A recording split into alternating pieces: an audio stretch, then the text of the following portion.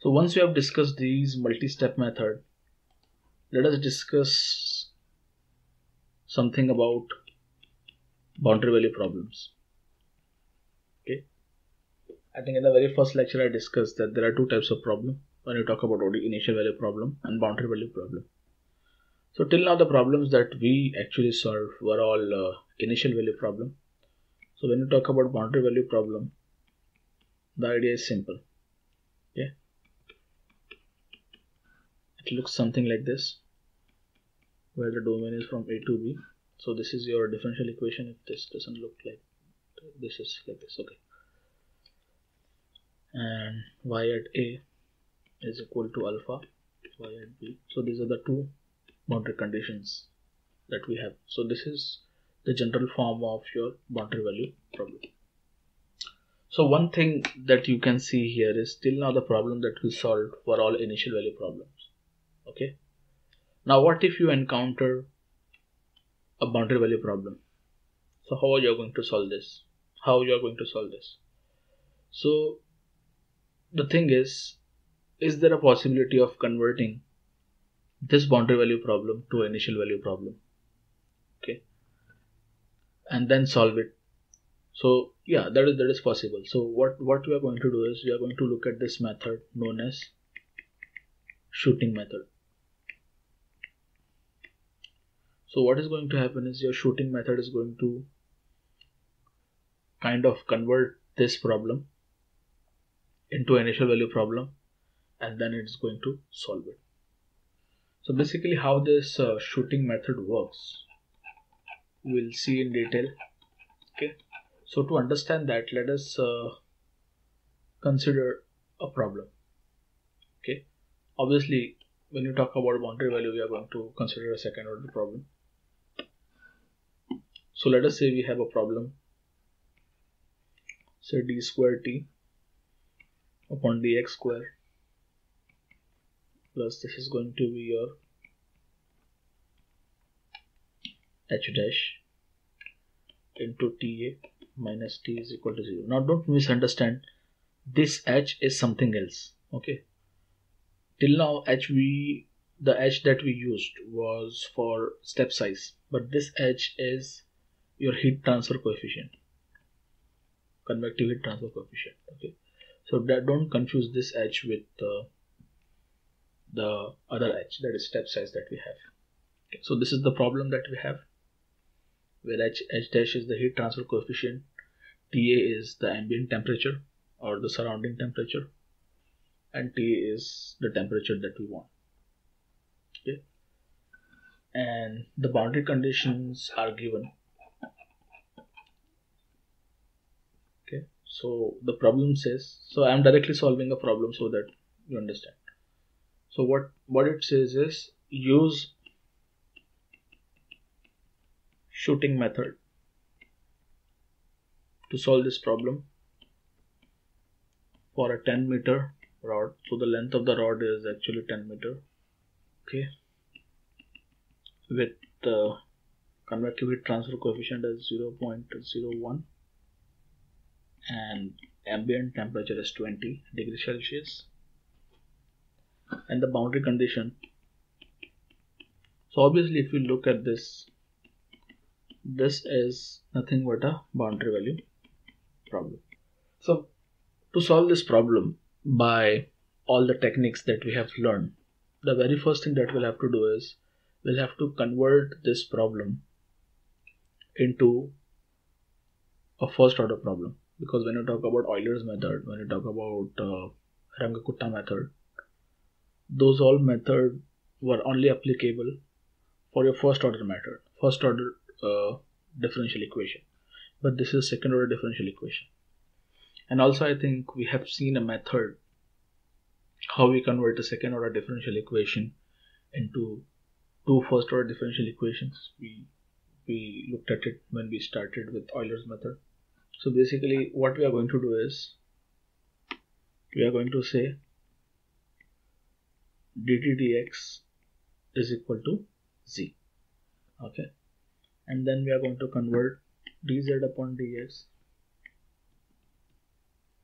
t minus ta so what we are going to do we are just going to assume this. So this is going to be my first differential equation and this is going to be my second differential equation.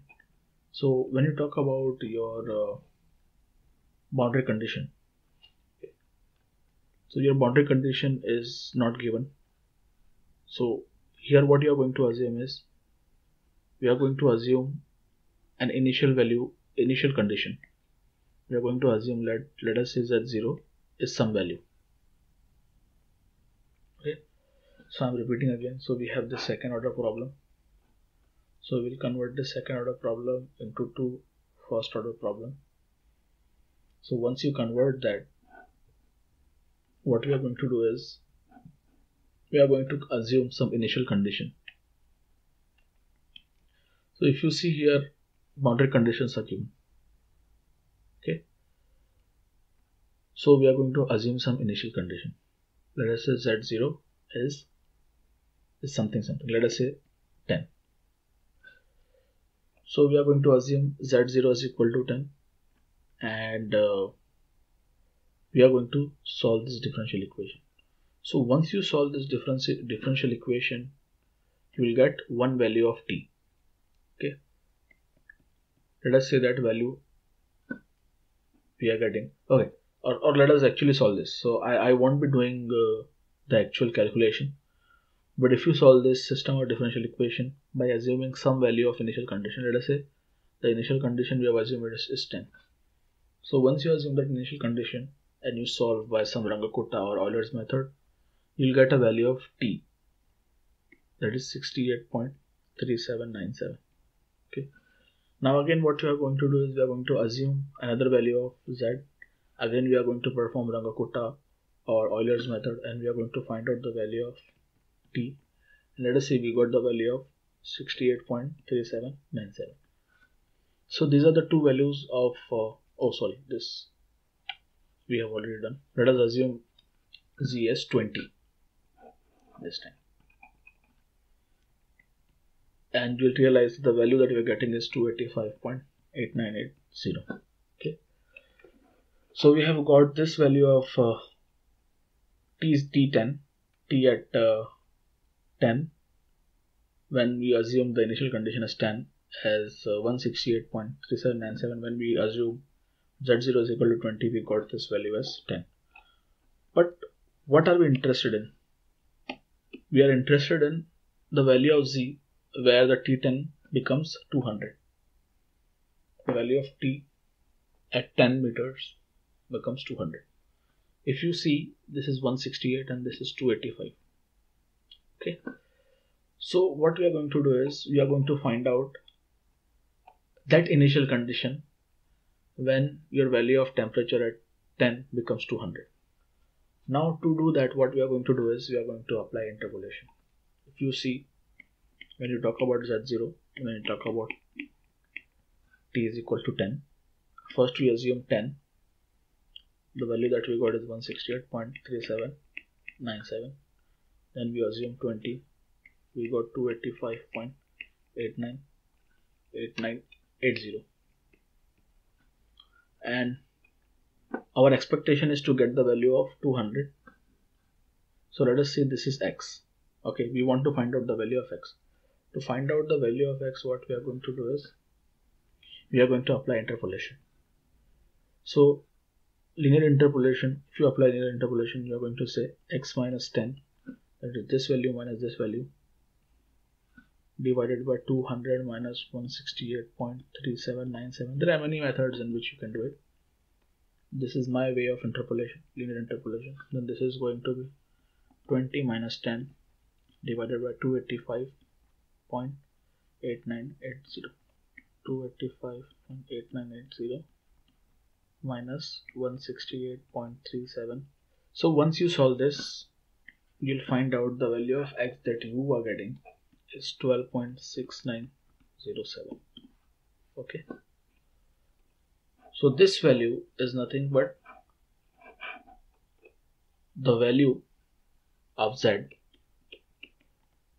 that we want to get the value of t is equal to 200 so this is going to be my actual initial condition. So if you if you see we are kind of performing shooting shooting. That is why this method is known as shooting method. We shoot some value we find out some value we shoot another value find out some value and then we apply linear interpolation to find out the actual value. Okay. so that means the actual initial condition is going to be uh, z0 is equal to 12.67 so basically we have converted this problem into an initial initial value problem. So initial value problem is going to be what? Dt minus dx to z dz on dx is equal to h dash t minus dA so these are two differential equation. First initial value initial condition is going to be 40 another initial condition is going to be 12.6907 so this is the actual problem now that we are going to solve. So that is why this method is known as shooting method. So i'll again uh,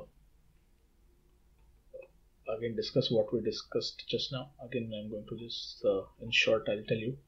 We converted the second order differential equation into two first order differential equation. We started with some initial value okay? So our idea here is to find out initial value, that is to convert this boundary condition or the boundary value problem, I'm sorry, to an initial value problem.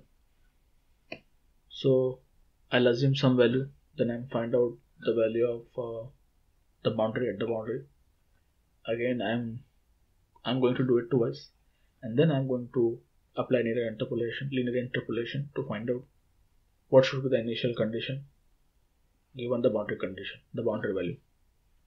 So I found out using interpolation this. That means now I have converted my initial value problem, oh sorry, boundary value problem to an initial value problem.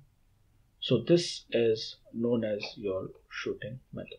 So obviously, again, if you see this method, uh, you it's difficult to solve it by hand. Only simple problems you can solve it by hand. You need to use uh, your programming to, to actually solve this this uh, real problem using this shooting method. I think this this will be all for now and uh, thank you very much.